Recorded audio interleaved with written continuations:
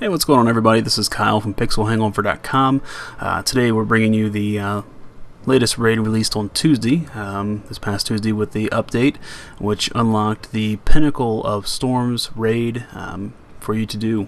Um, today, we uh, are doing it and breaking it up in three sections. Uh, we'll be doing, of course, the three in this dungeon, which is Iron Qon, Twin Consorts and Shen. Uh, this first one here is just Iron Qon. Uh, I will be putting up the other ones here as well uh, shortly. Um, this here is just the trash in front of Iron Qon. It's not too hard. I just kind of wanted to show it to you guys because I know the raid um, that I was in was saying uh, essentially for everybody to more or less stack uh, because the statues do a lot of jumping and of course they want you know if it's going to jump just to jump a couple inches instead of a couple feet or yards whatever. Um, pretty easy though. The, the trash is nothing, you know, whatever.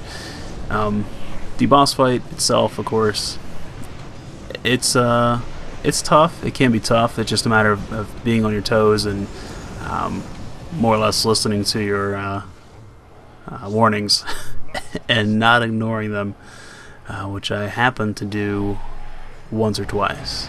So, um, but it's pretty fun dungeon. Um, yeah, see the screen freeze there?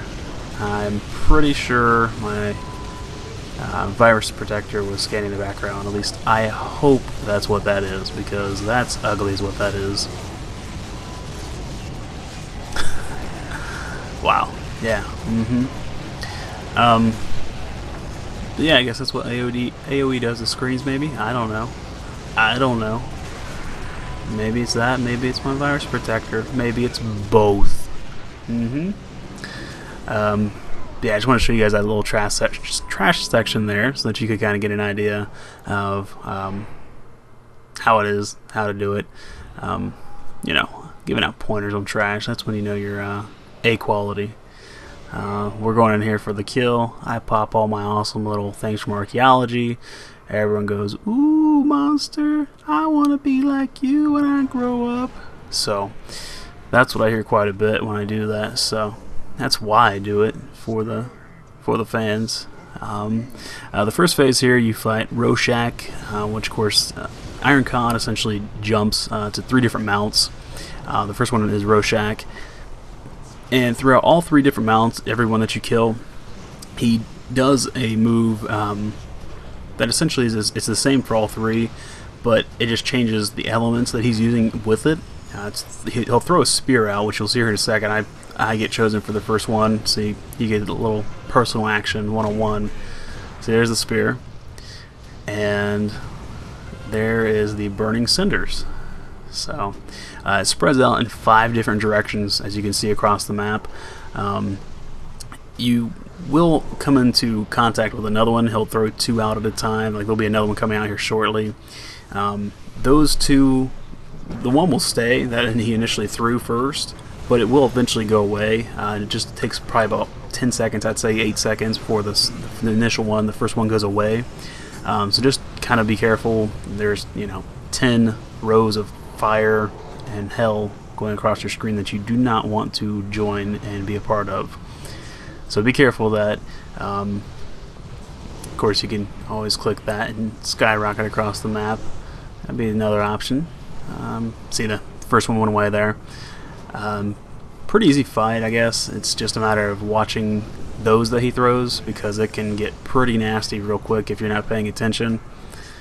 Um, it does something like 40 to 50,000 damage on a tick, something like that. And that's not pretty for the healers or you. Uh, the second phase here, it's pretty much the same thing with the um, spears. There's nothing really too much different. Um, this one though, he does have a um, lightning that comes along with it instead of the uh, burning embers or burning cinders. Um, yeah, I, I, noticed the first one from the burning cinders um, spear. It didn't seem to like stun me when he threw it, so I don't know if it's you know unique to just this one with the because he, he threw it and I, am I'm, I'm instantly stunned like I'm stuck there you can see me cowering so I'm not sure what that was all about and then I get stunned so like I'm I'm there for a good solid 10 12 seconds and then magically the boss saves me by putting me up in that and uh, gets me out of it. So he's a good guy. I'm okay with him when he does that. Um, this part here, you get, course, pulled in as you can see with all your raid members. Is if you try to get out, it pushes you or pulls you back in.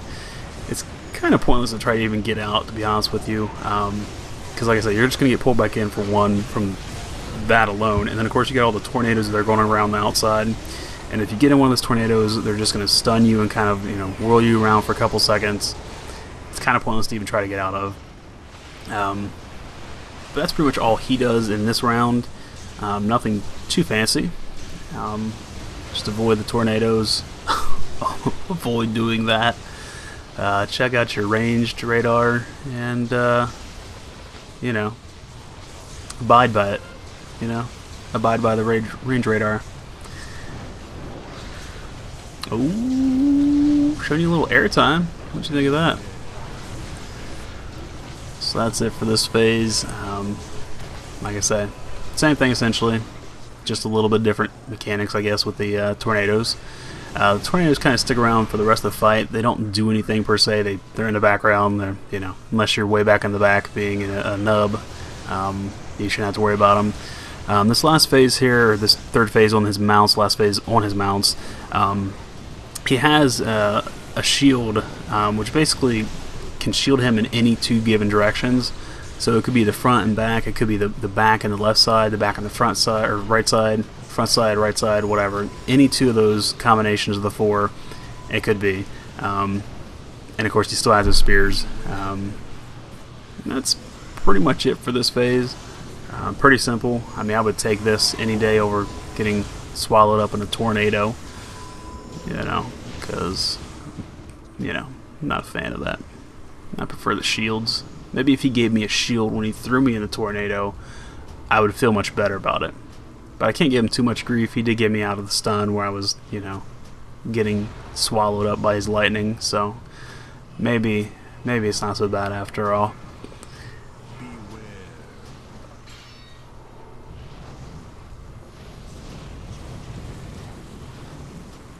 And that's pretty much it for this phase. Of course, like I say, there's the two there once again. The one will disappear.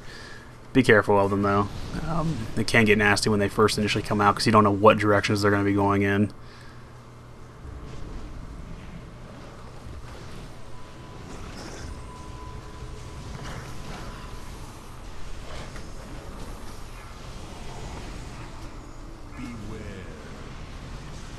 And we finish this phrase, this phase.